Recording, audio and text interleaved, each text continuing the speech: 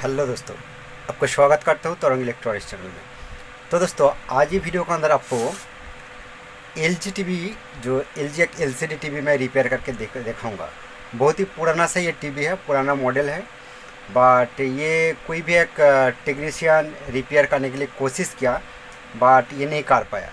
तो मेरा पास ये कस्टमर लेकर आया, और मैं ऑलरेडी ये टीवी को रिपेयर किया है।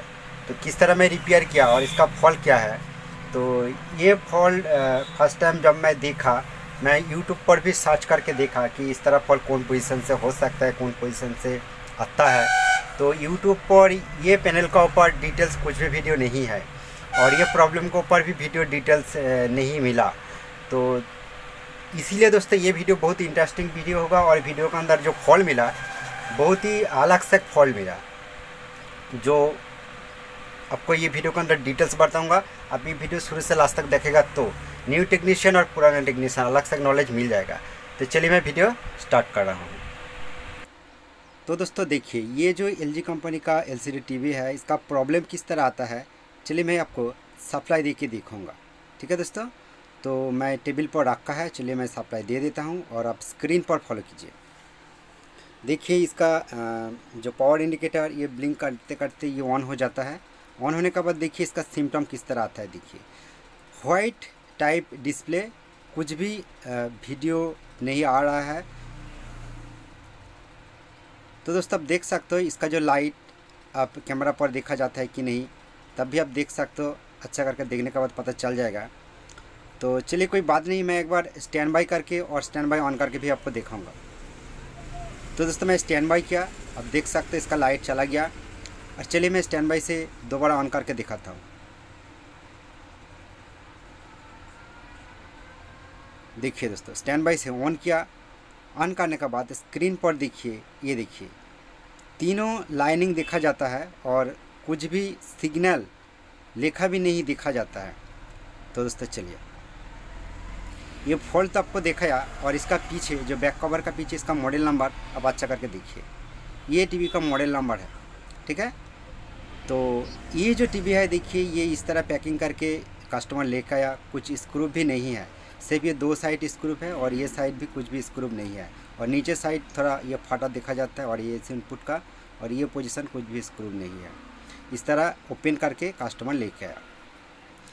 फाइनली दोस्तों, इसका बैक कवर को मैं ओपन किया। ओपन करने के बाद आप देख सकते हो, ये कितना पुराना टीवी है। तो इसका अंदर जो मदरबोर्ड है, ये मदरबोर्ड का फॉल्ट है कि ये पैनल का फॉल्ट है। सब कुछ अच्छा करके देखना पड़ेगा। तो ये पैनल का कवर को भी ओपन करना पड़ेगा। तो चलिए, आपको ओपन करके भी दिखाऊँगा। इसका पहले थोड़ा साफ़ साफ़ करना पड़ेगा, क्योंकि बहुत दिन से लगता है ये पड़ा हुआ है। ठीक है? तो दोस्तों, ये वीडियो आप स्किप मत कीजिए, क्योंकि न्यू टेक्नीशियन को भी बहुत नॉलेज मिल जाएगा। ठीक है दोस्तों? थोड़ा सा सब सब करने का बाद इसका पैनल फ़र्स्ट कुछ वोल्टेज टेस्ट करके दिखाऊँगा। ठीक है दोस्तों?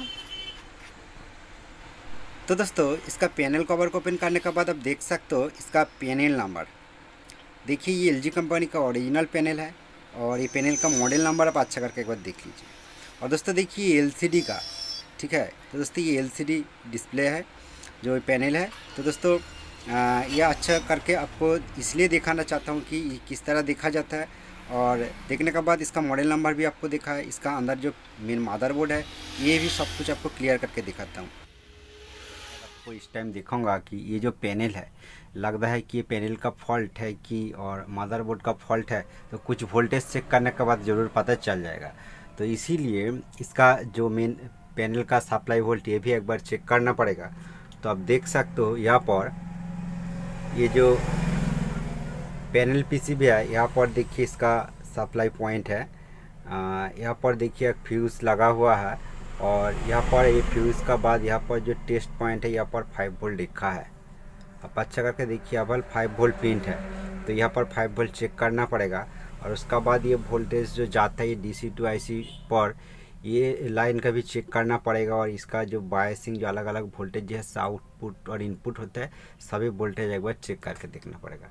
और उसका पहले आपको दिखाना चाहता हूँ कि देखिए ये इसका जो कॉफ है, देखिए, एक, दो, तीन, चार, पाँच, ये सिक्स कॉफ है, ठीक है? और कुछ भी इसका जला हुआ, फटा हुटा कुछ भी नहीं नज़र में नहीं आ रहा है तो इसीलिए कुछ वोल्टेज ज़रूर चेक करना पड़ेगा। तो दोस्तों, चलिए, इसी टाइम मैं मीटर लेके आपको दिखाऊँगा। मीटर को मैं डीसी रेंज पर सिलेक्ट किया और मीटर का नेगेटिव मैं यहाँ पर ही रखता हूँ, ठीक है? और चलिए इसी टाइम मैं कुछ वोल्टेज चेक करके देखूँगा। एक बार सप्लाई देख के आपको दिखाता हूँ। ठीक है? चलिए मैं सप्लाई दे देता हूँ। देखिए, मैं सप्लाई दे दिया। इसका इंडिकेटर यहाँ पर ऑन हो गया है। और ये तीन चार बार ब्लिंक होने के बाद ये ऑन हो जाता है। और उसका बाद, चलिए इसका फास्ट जो पैनल सप्लाई होता है, ये फाइव वोल्ट का सप्लाई सेट है। ठीक है? तो दोस्तों, देखिए इसका फाइव वोल्ट सप्लाई ओके है। ठीक है? इसका फाइव वोल्ट सप्लाई ओके है और उसका बाद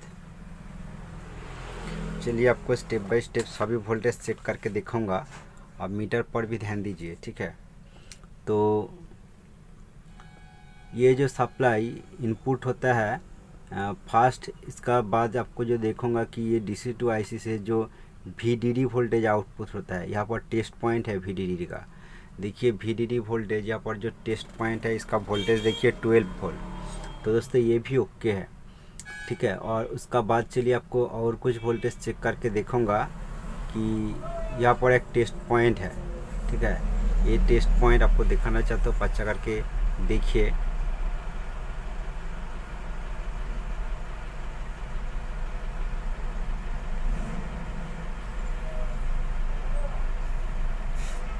ये देखिए, ये जो वी ये जो वी टेस्ट पॉइंट है यहाँ पर वोल्टेज देखिए ट्वेल्व वोल्ट ये ओके है। और उसका बाद यहाँ पर एक टेस्ट पॉइंट है,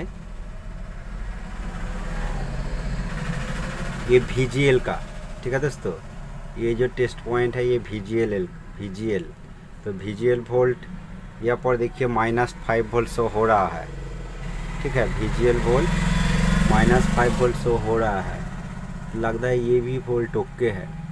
और उसका बाद यहाँ पर और जो टेस्ट पॉइंट देखा जाता है, देखिए भी कॉम वोल्ट यहाँ पर एक टेस्ट पॉइंट है। ये वी कॉम वोल्ट दोस्तों, देखिए, यहाँ पर फाइव वोल्ट शो हो रहा है। वी कॉम वोल्ट यहाँ पर फाइव वोल्ट शो हो रहा है। यहाँ पर भी कॉम वोल्ट का टेस्ट पॉइंट है।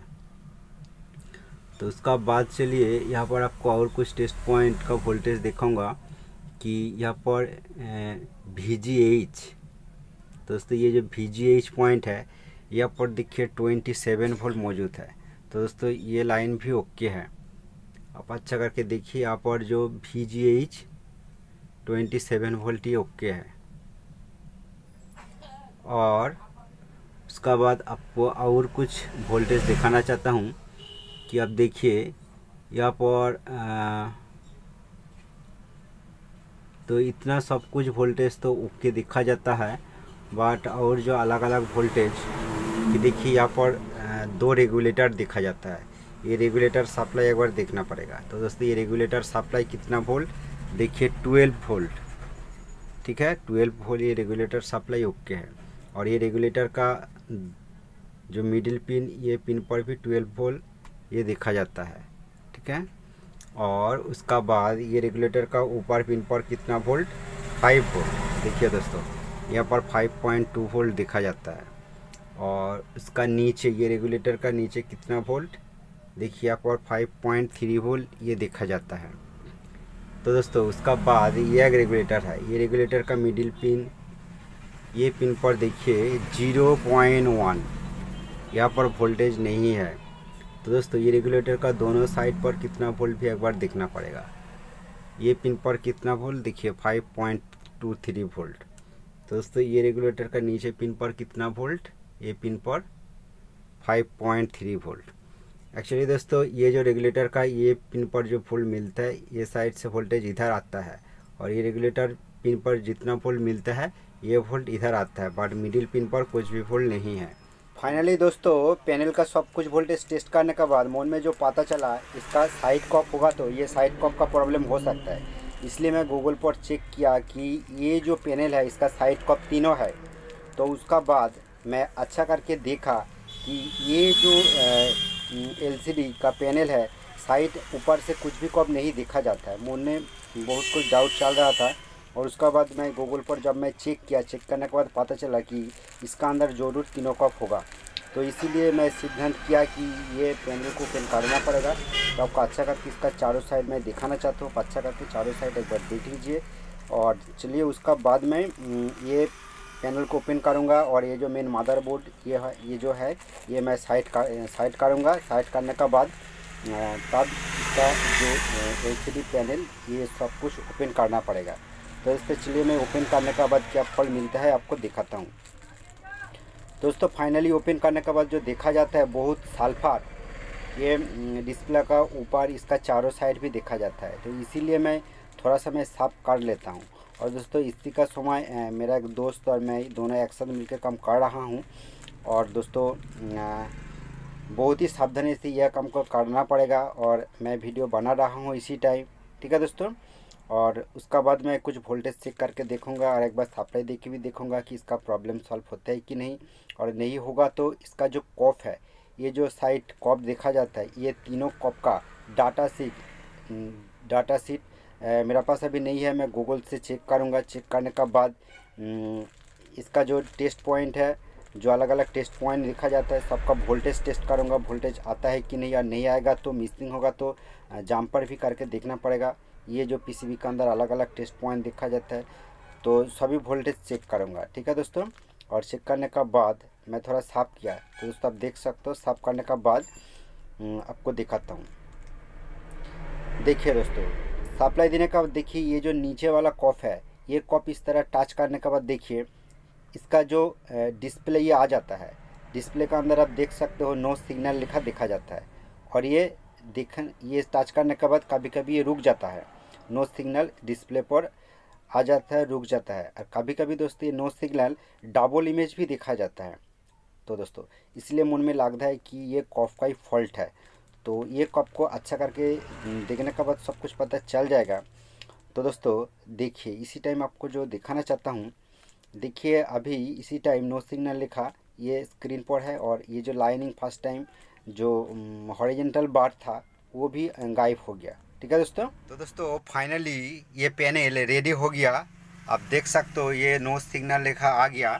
तो इसका मेन फॉल्ट जो मिला, आपको दिखाना चाहता हूँ कि देखिए, ये जो साइड कॉफ है, ठीक है, ये पैनल के अंदर देखिए तीनों कॉफ है, ठीक है। ये जो फ़र्स्ट वाला कॉफ है, ये जो साइड कॉफ इसका अंदर एक जो पॉइंट यहाँ से मैं जम्पर किया, ठीक है। आपको सब कुछ दिखाऊँगा क्लियर करके। ये जो जम्पर किया, ये जम्पर का टेस्ट पॉइंट यहाँ पर है। आपको मैं क्लियर करके दिखाना चाहता हूँ। अब देखिए, ये जो पॉइंट है जी एस पी ठीक है दोस्तों, आप अच्छा करके देखिए जी एस पी ये जो टेस्ट पॉइंट है, यहाँ से मैं ये जो कॉप का जी एस पी पॉइंट होता है, इसका साथ मैं जम्पर किया। जम्पर करने के बाद इसका प्रॉब्लम सॉल्व हो गया। तो दोस्तों, ये जो टेस्ट पॉइंट है, देखिए जी ओ ई ये भी एक टेस्ट पॉइंट है और जी एस सी ये भी एक टेस्ट पॉइंट है। ये जो तीनों टेस्ट पॉइंट है, ये टेस्ट पॉइंट का जो सप्लाई ये कॉप का अंदर भी जाता है। दोस्तों, और जो कप का अंदर जो वोल्टेज जाता है, ये पैनल का अंदर सब कुछ लिखा है। जो आपको दिखाना चाहता हूँ कि आप यहाँ पर फॉलो कर सकते हो कि देखिए वी जी एच यहाँ पर लिखा आप देख सकते हो वी जी एच ठीक है? वी जी एच और वी जी एल तो वी जी एल भी यहाँ पर लिखा है, आपको दिखाना चाहता हूँ कि देखिए ये जो पॉइंट है, आप अच्छा करके देखिए। तो ये पॉइंट सब कनेक्शन में चेक किया। आ, मेरा दोस्त है दोनों मिल के मैं टेस्ट किया हम लोग।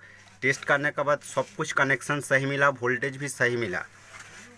तब भी लास्ट में आपको टच करके भी देखा है कि ये टच करने के बाद प्रॉब्लम देखा जाता है। अभी दोस्तों देखिए यहाँ पर टच करने के बाद कुछ भी प्रॉब्लम नहीं आ रहा है बट स्क्रीन पर देखिए टच करके भी आपको दिखाता हूँ। नो सिग्नल जो देखिए क्लियर दिखा जाता है ठीक है? तो ये जम्पर करने के बाद ये प्रॉब्लम सॉल्व हो गया। ठीक है दोस्तों? तो चलिए पूरा फिटिंग्स करने के बाद पिक्चर दे के भी आपको एक बार दिखाऊँगा। ठीक है दोस्तों?